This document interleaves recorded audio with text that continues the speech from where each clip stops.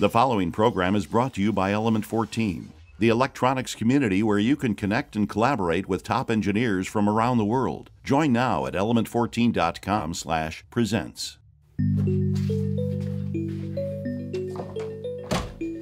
Welcome back to Element 14 Presents. I'm Clem, and today. No, no, no, that's the wrong video. Oh. We're doing something different today. Never mind.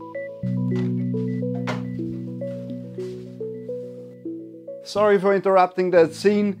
I had to because earlier today this happened.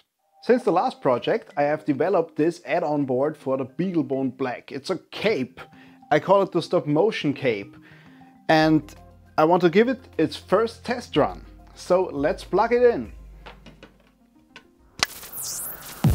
Uh oh. Uh, whoa. Well, that didn't go as expected. The Beaglebone is dead.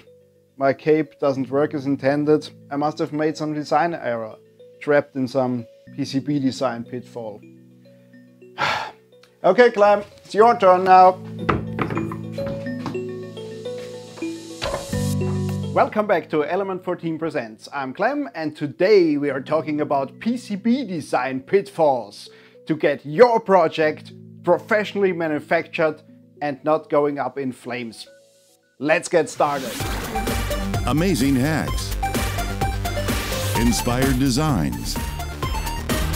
Each week, Element 14 Presents brings you innovative projects using electronics, engineering, and more.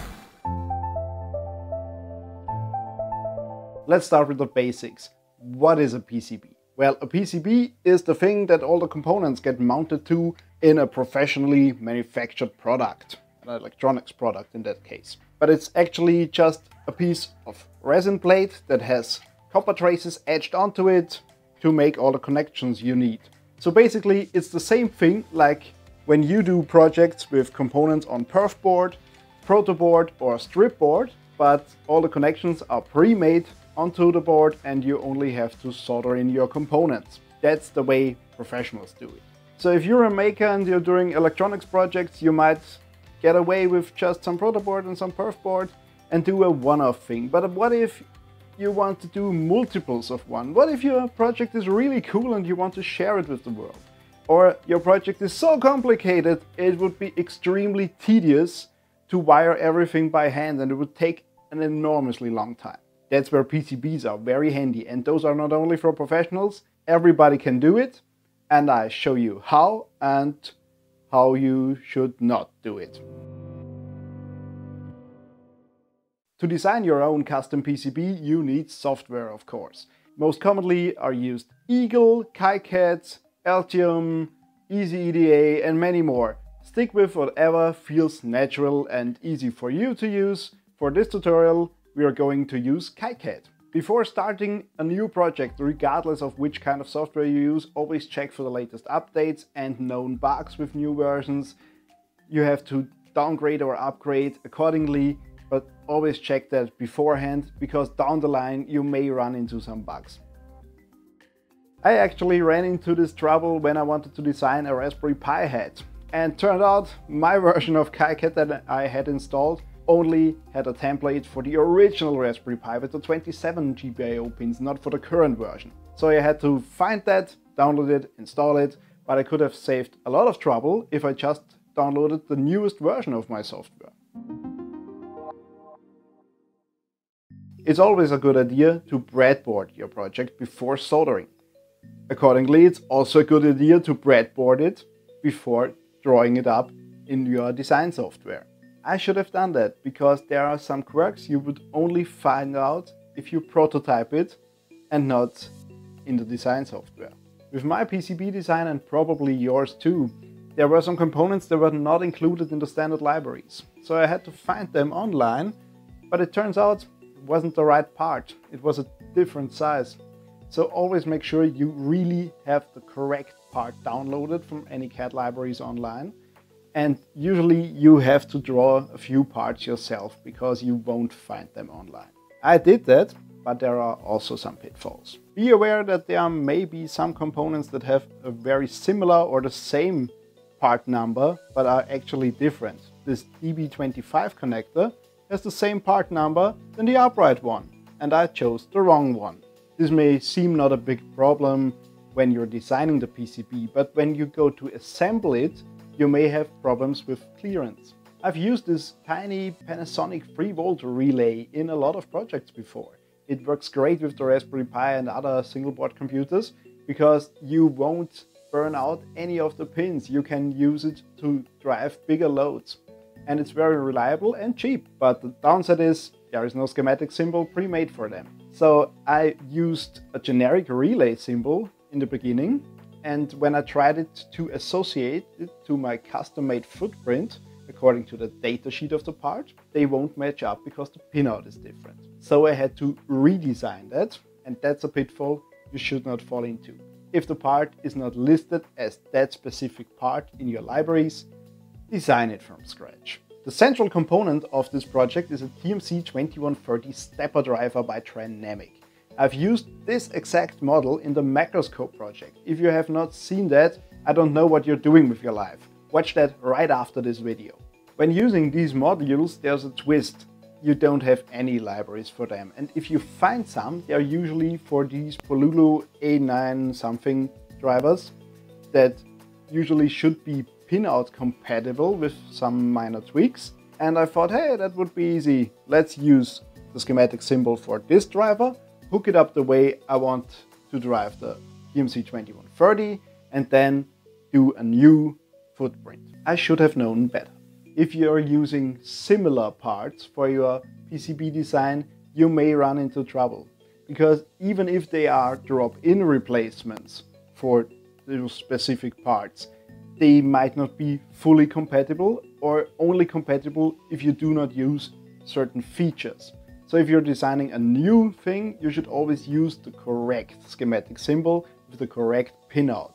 And sometimes the names are just different and you will mess that up afterwards when you don't remember that clock on this one is exactly reset on the other one and they should be both tied to ground, but you don't do that because on the other schematic it shouldn't be connected to anything because those are actually UART connections and you have no plan what you're doing. The original drivers where I got the schematic symbols from are soldered in with the chip facing up and the Trinamic ones are soldered in with the chip facing down. And it's very easy to flip them in your mind and turn them around and you can easily mess that up.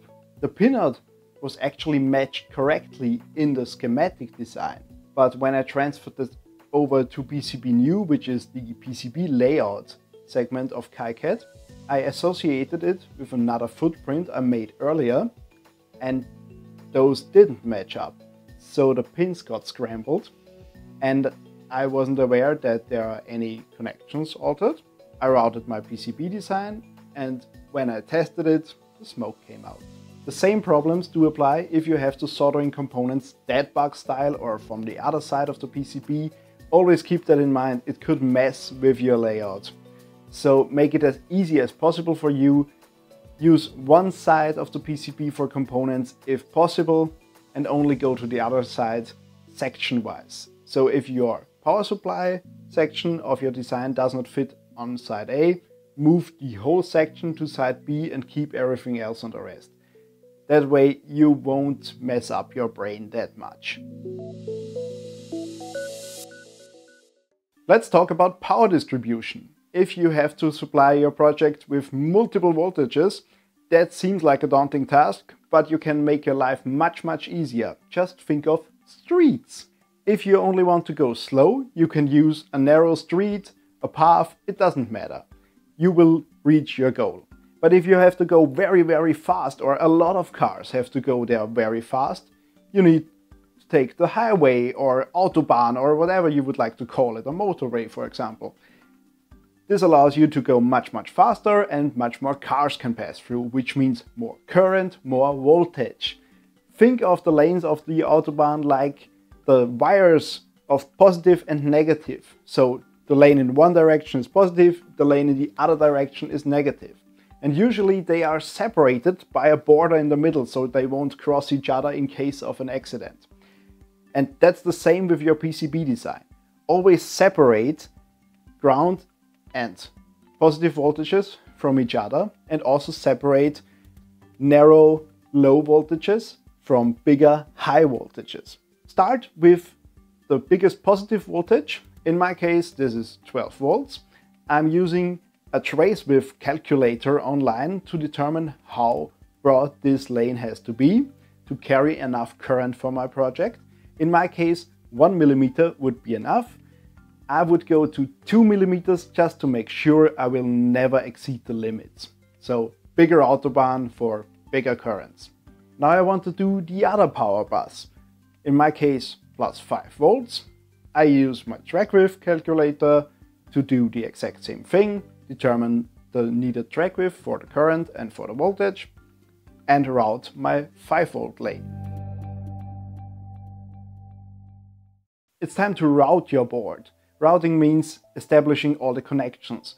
We already did that with the power bus, but now it's time to connect all the data lanes or whatever you want to distribute signal wise. There is a thing called auto routers or auto routers, which are automatic functions that do all the connections. But keep in mind, those are not always right. I ended up with some unconnected traces or some faulty ones or very confusing ones.